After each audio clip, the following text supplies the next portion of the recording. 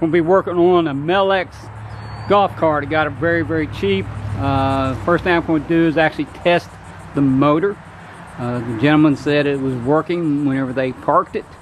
Uh, but they were going to use, they had another one that they were using all the time. The batteries went dead. They just never did buy new batteries. Uh, so we'll find out. So the first thing I'm going to do is actually just test the motor down there. Want to take a jumper and put a jump box to it and just see if the wheels will roll. We'll do what we can. I'll show you what I can kind of tight down there. Uh, and I've never done this. I'm actually did like you're probably doing right now. You're looking on YouTube for some information. Uh, it looks pretty simple, so we'll take you along for the ride. Hold on. Get this thing up on a floor jack here, small one. Uh, gonna put some jack stands up underneath here right now. I'm gonna see if I can find them and get at them.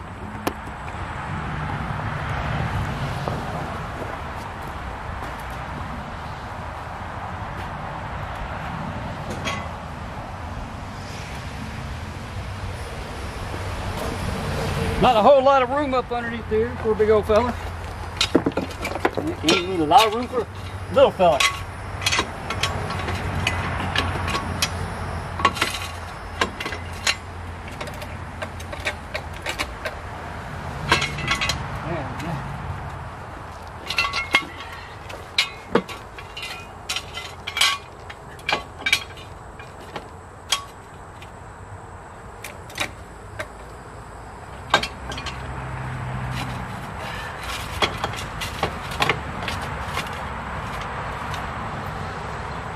Okay, this has been really.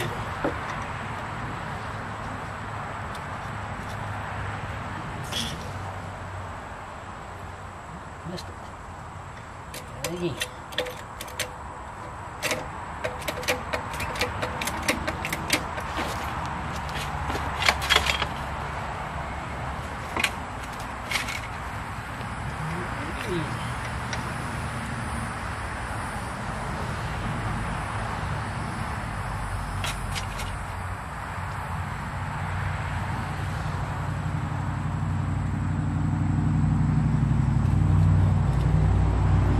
Yeah.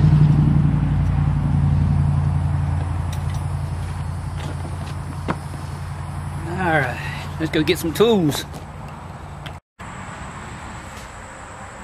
Hey, how y'all doing? I'm going to get ready to test my 36 volt motor on my golf cart.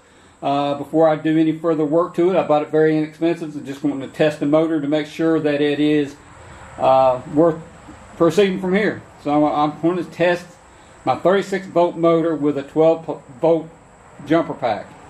Uh, you can use car battery with jumper cables, as long 12 volts, be fine. Uh, very simple, it seems to be. So what I'm going to need, what I have is a jumper cable and a jumper box. Uh, and what you need to do, I'm going to try to zoom you in here, down here to my little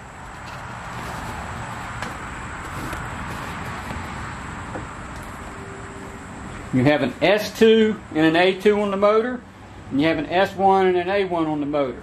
You got to locate those. Uh, make sure you disconnect all the wiring, and then you're going to take this, which is a jumper cable from A2 to S1. You're just going to connect the two together with this. Again, A2 to S1 with this jumper cable. Then you're going to take the battery box or positive cable and put it on the S2. You're going to take the negative and put it on the A1. Again, you're going to take the jumper cable from A2 to S1. You're going to take the positive cable from the jumper box to S2. You're going to take the negative from the jumper box and put it on A1. And once you do that, you should be able to turn on the switch and it should run if the motor is good. If not, We'll go down another avenue from there. But that's what we're going to try it now. This shows to show you what guys what I'm going to be doing because it's real tight up underneath this golf cart. Not going to be able to really get up underneath there and show you everything. I figure this is pretty self-explanatory. It helps out a lot for me anyway. So uh, let's go see. Okay guys, I know this is not a real good shot, but it's the best one I got. Uh, we're going to, again, disconnect those wires there that are on the mower. I mean, the, I'm sorry, I'm working on a mower too. Uh, working on this golf cart motor. Uh, we're going to disconnect it, then we're going to put the jumper to it in the jump box, and we'll go from there. The battery went dead.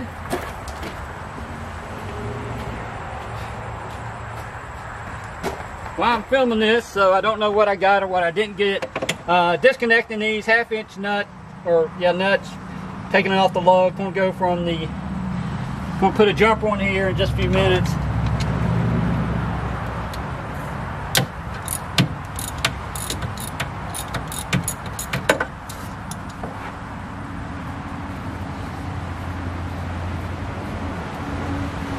This motor works.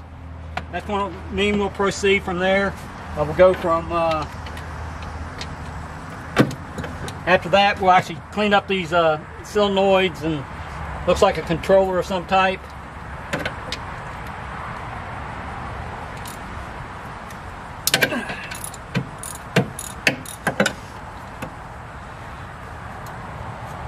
Overthinking art. Yes, they are.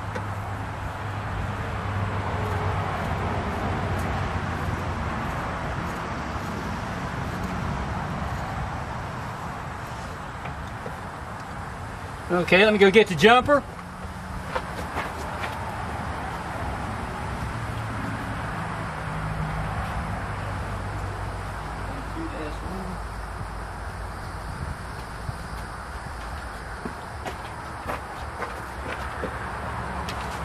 So we'll be doing A2 to S1.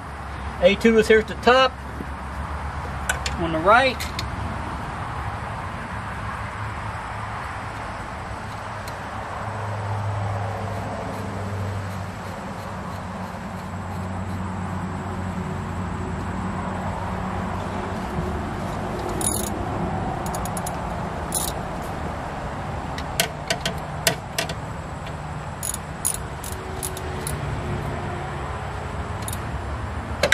Now get back up underneath there and uh, put this on the S1.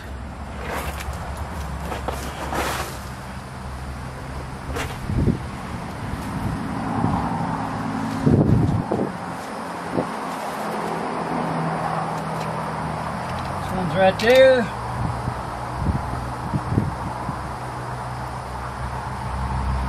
So guys, this is not real hard. It doesn't seem to be. Let's keep our fingers crossed that this motor's going to work.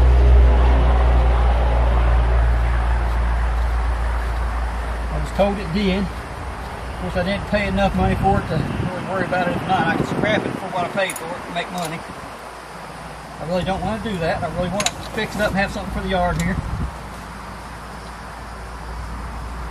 Frame looks pretty good. It's just where the box batteries were corroded.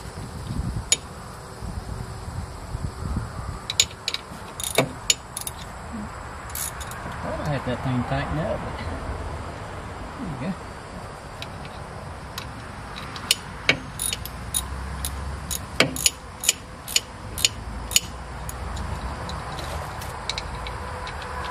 I'm not going to worry about snugging these down too tight just for the simple fact it's temporary.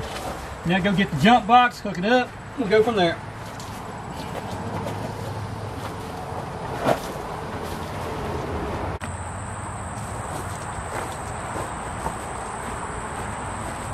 Okay, we're going to take the S2 or the positive cable to the S2, which is up here at the top. Just clip it on there. Then we're going to take the negative cable and put it on A1, which A1 is on the bottom, right there. Okay, now let's see what we got. Let me get over here where I get at it.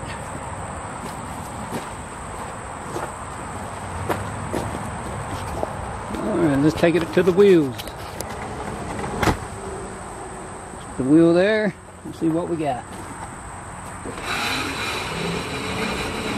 Well, guys, I think that is uh, good.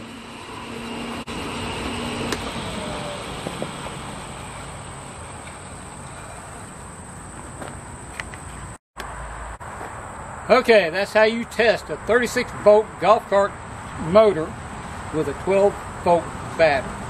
Uh, very simple. Basically, four, hook, four, four things to hook up, then you can test.